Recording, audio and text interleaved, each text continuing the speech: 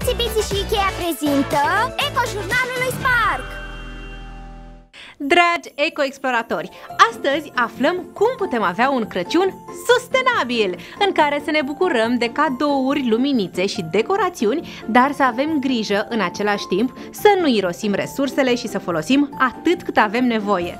Asemenea lui Moș Crăciun, natura este foarte generoasă, iar oamenii sunt foarte inventivi, astfel că magazinele sunt pline în această perioadă de tot felul de lucruri, care de care mai frumoase, pregătite să fie cumpărate, împachetate, făcute cadou sau duse acasă. Alege însă cu grijă darurile pe care le cumperi, să fie din materiale de calitate, să fie utile și să nu aibă ambalaje inutile.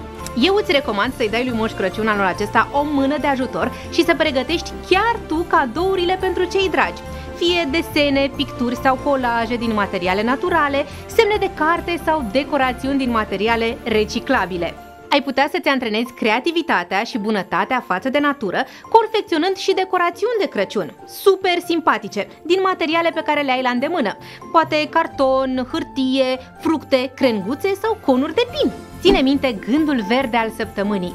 Crăciunul e în primul rând o sărbătoare a bunătății, așa că fii bun cu tot ce e în jur și fă alegeri înțelepte. Continuă să fii ecoresponsabil! Energie și sănătate Prietenie și responsabilitate Bucurie și bunătate Puterile sunt activate! Destinația Sustenabilitate!